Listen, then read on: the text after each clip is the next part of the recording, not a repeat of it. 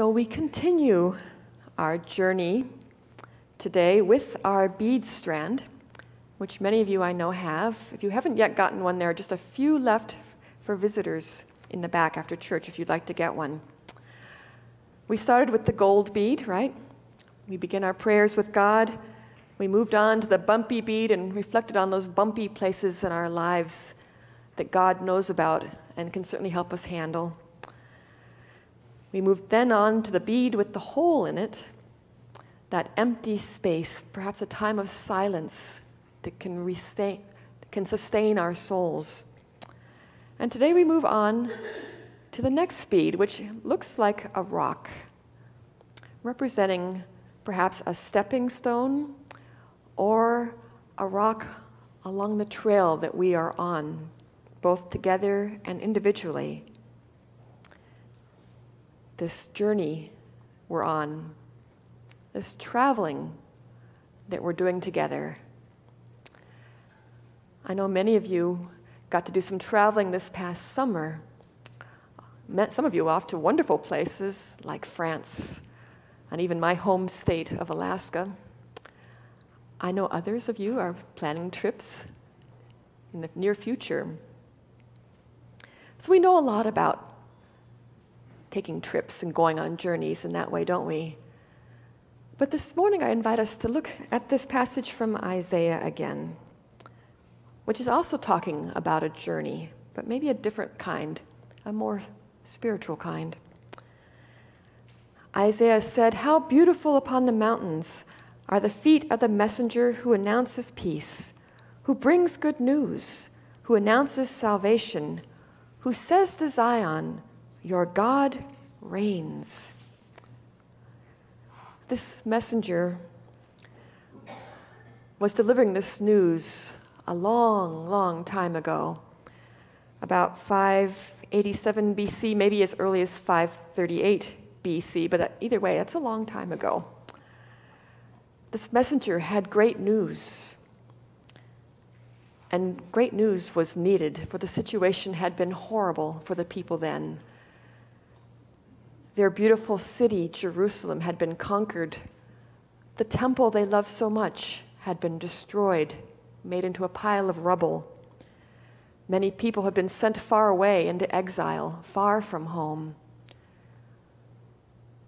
It seemed like a horrible situation, and it was. A lot of, a lot of brokenness. And yet, into the scene comes this messenger with great news. God has defeated the enemy.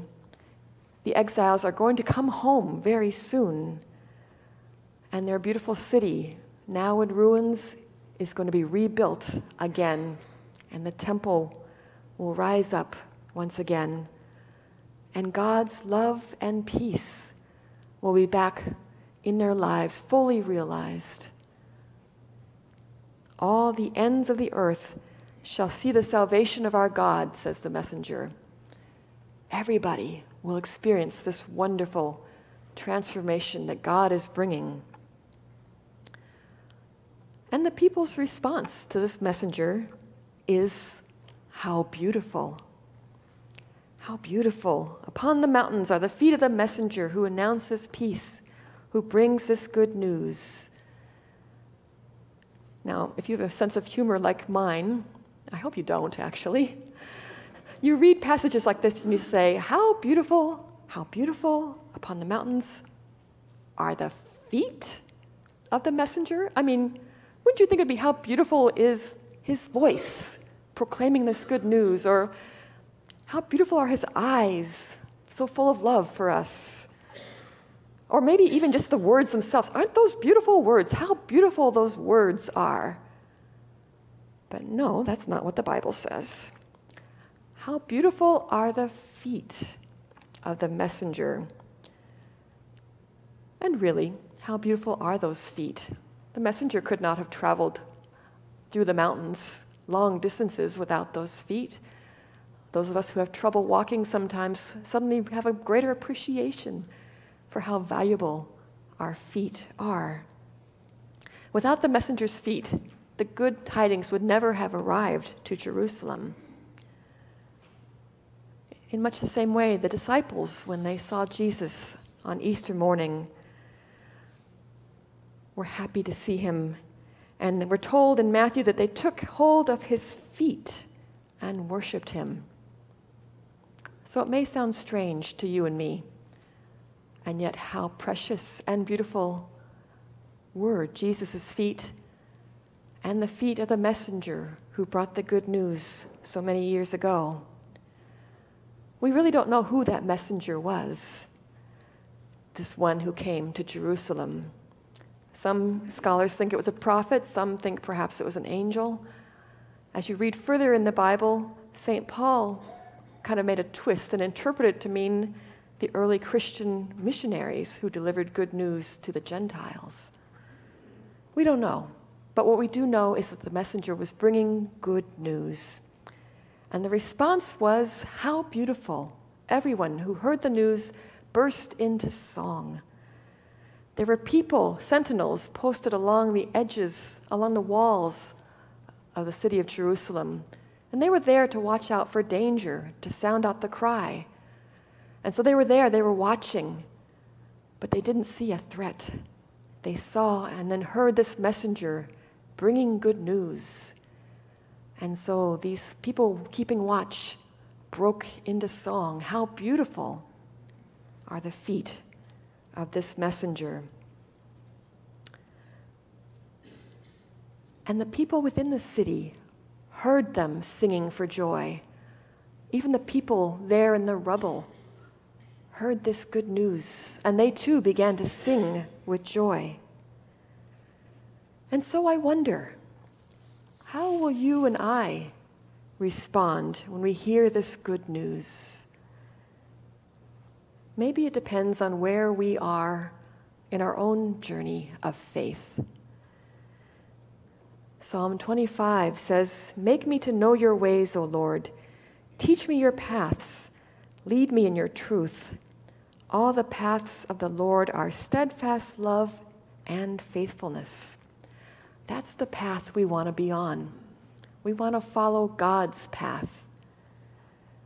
But it is hard sometimes, isn't it, to know which path to follow, which one is the one we're called to journey upon.